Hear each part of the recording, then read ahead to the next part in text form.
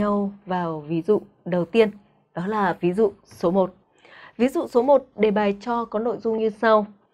Cho tam giác ABC có ba góc nhọn, trực tâm H và nội tiếp đường tròn tâm O. Được chưa nhỉ? Cô trò mình cùng nhau dựng đường tròn tâm O. Sau đó ta vẽ tam giác ABC là tam giác nhọn. Ok chưa nào? Tiếp theo là ta dựng các đường cao để lấy trực tâm H.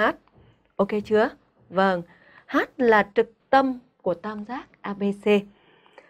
Chính xác, nó là H là giao của ba đường cao và tên gọi của nó là trực tâm. Tiếp theo là dựng hình bình hành BH C D.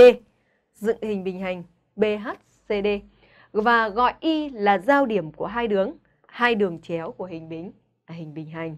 Được chưa nào? Đó.